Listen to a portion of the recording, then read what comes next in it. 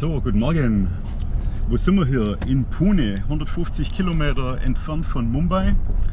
Und wir haben Mitte Juni, Monsunzeit eigentlich, obwohl jetzt gerade die Sonne scheint, aber es fängt gegen später hundertprozentig an zu regnen.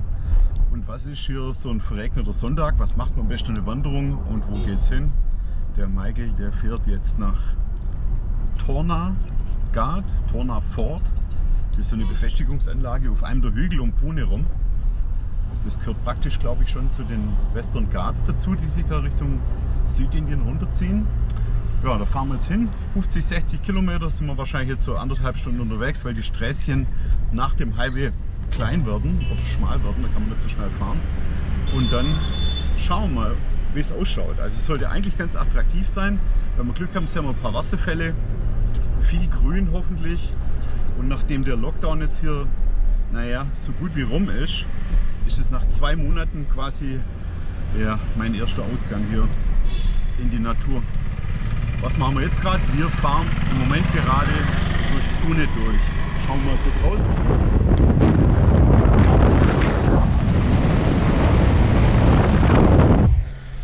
Alles noch ziemlich leer, weil es erst 7.30 Uhr ist. So,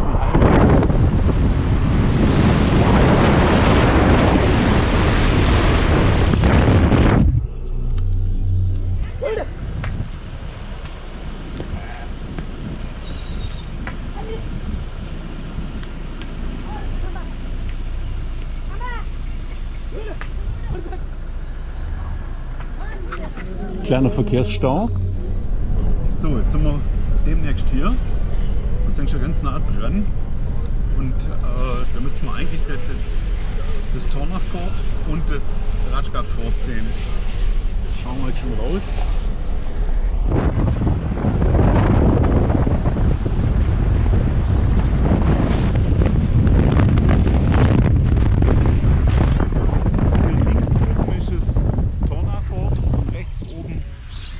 Rajghat Fort. Geht hier durch ein Dorf durch, Tempel vorbei, der Emmerladen.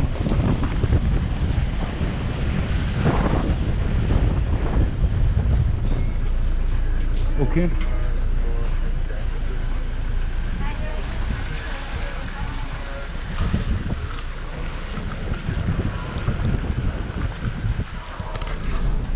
Hier haben sie gerade abgesperrt mit der Polizei. Aber wir haben dann mit ihnen gesprochen und die gefragt, ob wir trotzdem weiterfahren können bis zum Parkplatz. Ja. Eigentlich sind wir zum Wandern gekommen, nicht zum Autofahren, aber äh, trotzdem. sind wir am Parkplatz angekommen.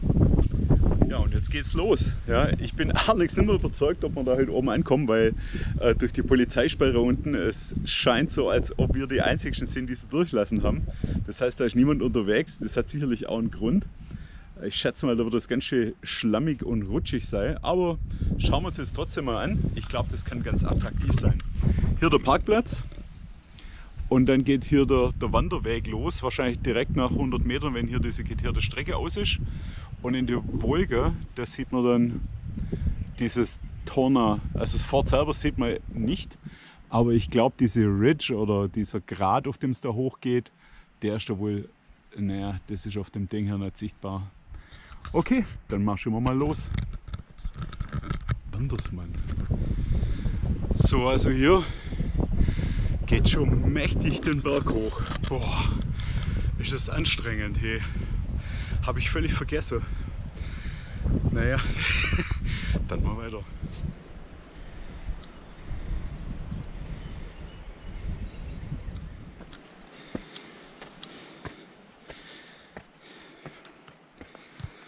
Oh, der da so schnauft, das bin ich.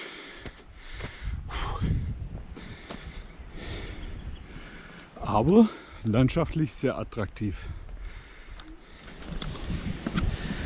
So, jetzt sind wir auf dem Rücker angekommen. Wo sehen wir da hin? Jawohl.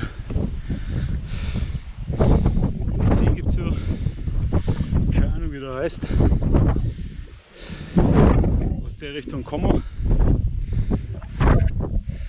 Und in die Richtung wollen wir gehen. So, ja nicht mehr ganz so frisch aus. Aber das bin ich auch nicht mehr. So, die Sonne kam ganz kurz raus. Vielleicht ist sie noch da. Und hier geht es weiter.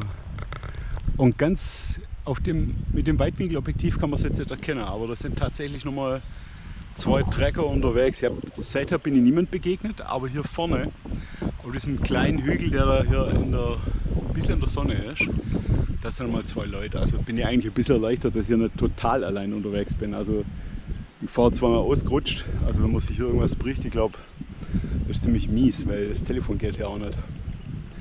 Aber super, da hat es Wasserfälle da oben, kommen wir jetzt wahrscheinlich gleich näher ran. Sieht klasse aus hier, also es lohnt sich auf jeden Fall.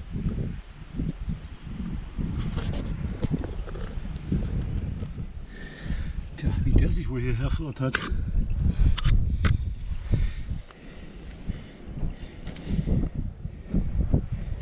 Sichtbar auf der Kamera?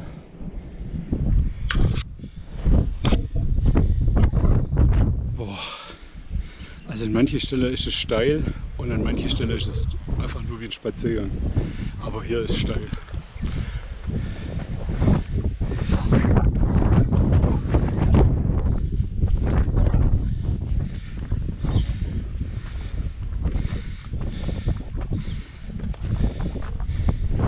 Oh.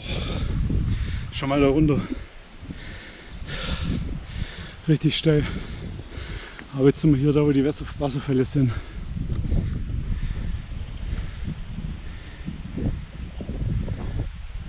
Jetzt hier der vorbei wie im Gebirge im Allgäu, äh Quatsch in der Albe.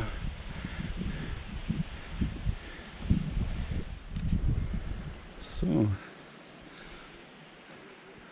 Das sind die zwei Bergkameraden. Die steigen schon mal vor. So, also hier ist so mächtig steil. Und vor allem, hi guys. so, ich weiß nicht, ob man es hier auf den Bildern so sieht, aber das ist wirklich mächtig steil hier und vor allem halt alles nass. Mal schauen, wie weit es hier noch Sinn macht.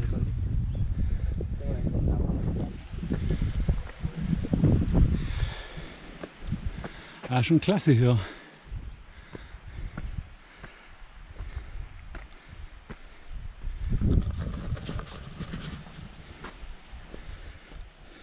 Ich glaube, das ist ein gutes Ausdauertraining. Für mich zumindest.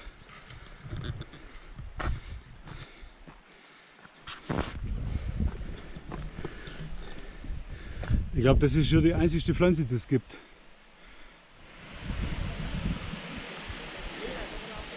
Wow! Jawohl! Super! Ansonsten Vulkan. So, das klare Alpenwasser.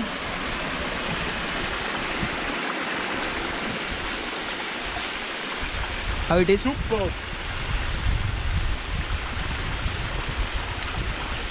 Schmeckt besser wie das Bisleri. Thank you. So, ich glaube, wir sind auf der Zielgerade hier. Da oben scheint irgendwie ein Tor zu sein.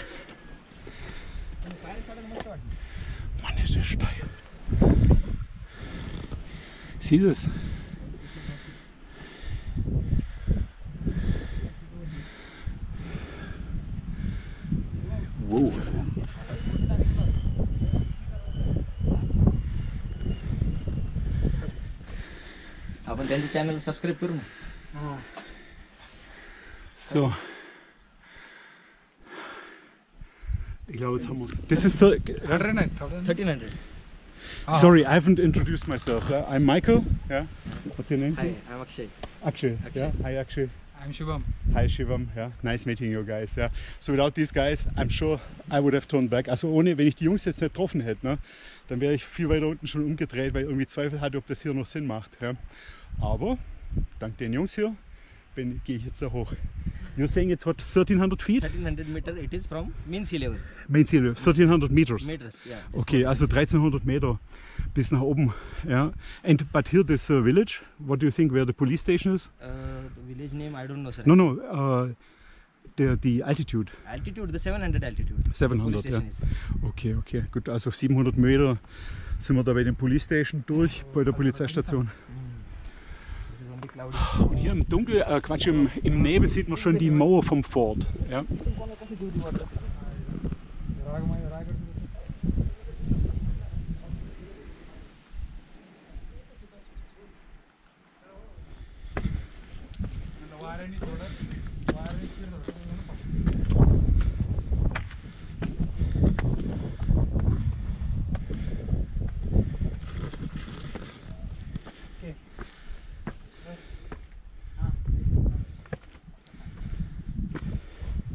Schau mich nicht so an. So, jetzt bin ich herangekommen, aber da ist tatsächlich die Türe zu. Glaubst du das? Oh. Mann. Tja, also ich passe da nicht durch.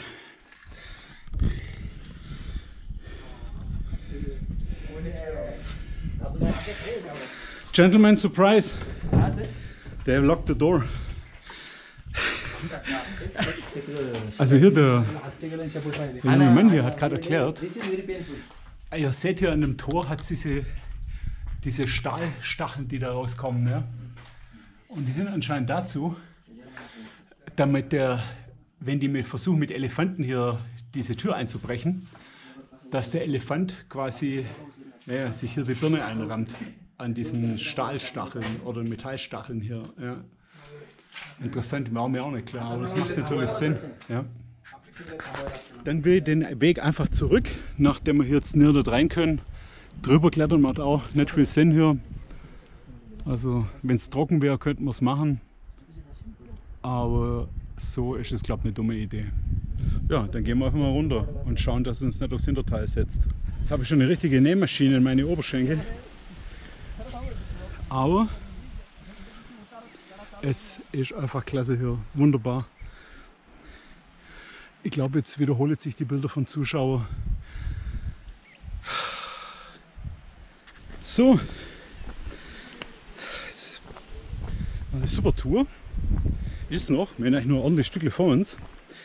Aber ich freue mich eigentlich schon darüber nachzudenken, wo es als nächstes hingeht. Und hier hat es noch genügend Opportunities. So wird man vielleicht am nächsten Wochenende gleich nochmal die Runde drehen. Sinhagat vielleicht. Aber das sehen wir dann. Jetzt schauen wir erstmal hier.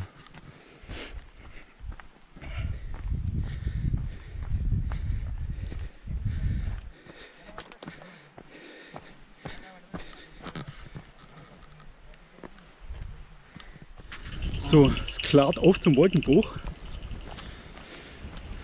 Ich glaube, der einzige Spot hier mit Sonne. Und erstaunlicherweise kaum rutschig. Nachdem ich das jetzt gesagt habe, haut man es bestimmt gleich rein. Aufs Hinterteil.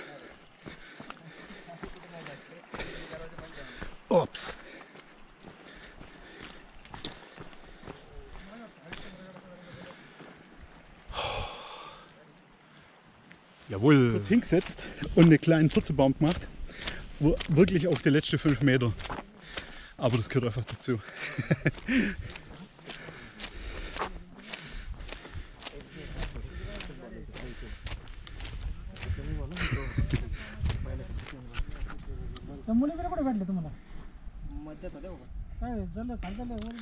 So, jetzt schauen wir mal, ob dann das Restaurant zum Goldenen Hirsch irgendwo in der Nähe ist.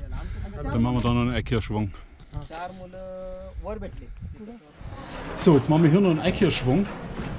Und ich frage mal die Jungs, was mein Bester hier ist. Ist es okay if I, if you, if you, if I interview in the uh, video? what kind of Not interview, only. What, what do you suggest what we shall eat here? No, what, what you are saying? What do you suggest? What can, what shall we eat here? Uh, what shall we eat here?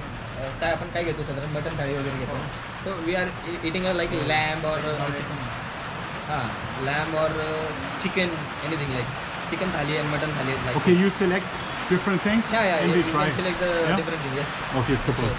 Also ist my invite, of course. Ja, Yeah, ja, My okay. pleasure. Okay, also jetzt äh, Die Jungs sind gesagt, die sollen mal ein paar Sachen bestellen und die probieren wir einfach mal gemeinsam. Schauen wir mal, wie es schmeckt. So, jetzt gibt es nicht nur Roti, sondern auch Bakri. Dann ein klassisches indisches Coca-Cola, das Thumbs Up. Und dann nachher wollen wir einfach mal kurz filmen, was, auf dem, was, auf, was serviert wird. Und das Timing war auch richtig, weil jetzt fängt es nämlich zum Regnen an. Und zwar richtig. Das Essen steht auf dem Tisch. Bei mir gibt es ein, ein Eier-Curry und bei euch gibt es ein Chicken, Chicken, Chicken, Curry. chicken, chicken. Oh, Mutton. Chicken. Chicken. Only chicken. So, ein Hähnchen-Curry und bei mir ein Eier-Curry. Aber das sieht so lecker aus, ich habe mir jetzt auch ein Hähnchen-Curry bestellt. Ja? Also, guten Appetit, die Herrschaften.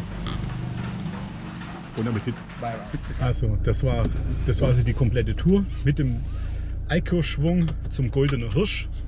Da haben wir dann Eier gegessen und Hähnchen. Und jetzt geht's ab nach Hause und freue mich dann schon auf den nächsten Trip. Schauen wir mal, wo es hingeht, aber wieder auf irgend so Fort. Okay, ciao, have a good time.